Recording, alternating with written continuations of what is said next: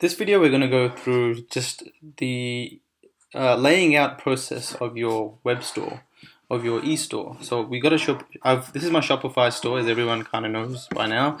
GrabFrenzy.com. It's just a very generic store I use to test products, and um, there's not much customization that's been done to this store. It's basically a very simple free theme on Shopify, and you can pick any any theme you'd like. And on first glance, they may look really simplistic with nothing really there. But the only customization I've done on this store, the only things that I've added manually, have been this logo here, which I've it's just simple text, which I've done on Photoshop, and a wallpaper, which I found a free wallpaper with a bit of text and some flags, right, to kind of show that I, I ship worldwide because these are some of the countries that I I market to. So I want them to know straight off the bat that hey, look, I I ship to your country. And these are uh, little images that are kind of populated by themselves once you start adding products and collections. Collections are just a basic, another word for categories. So once you start adding categories and your products, and you have images for your products, uh, featured images, and they're going to appear here. So this is just the front page. It doesn't have to look amazing, right? Um, like I said before, it's just two big two images here. One's a, a, a bit of a logo type thing, and another another is just a, a wallpaper, and everything else is pretty much auto populated.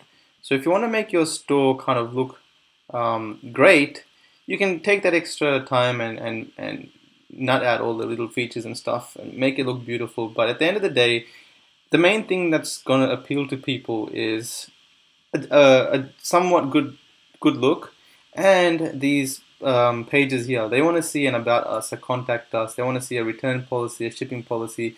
They're all indicators of a legitimate website. And if you've got that, then if you've got that and uh, just a somewhat good looking store, then you're, you're pretty much good to go.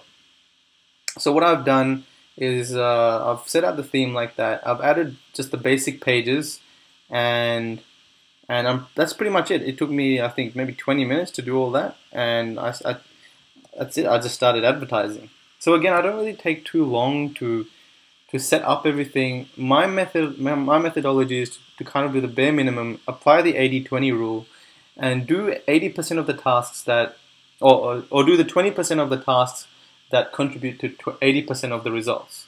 I can go ahead and do the 80% of the tasks that maybe contribute 1 to 2%, but they're just more time consuming than they are effective. So um, yeah, when it comes to doing a layout, don't spend too much time. It's more the product that people are looking for. At the end of the day, people are going to be taken to the product page. They're, they're not really going to click the home page anyway. So you want to make sure your product page nice, descriptive. It has big pictures. It's got this kind of a um, countdown timer, a bit of a description as to what's going on, and you've got your your pages intact.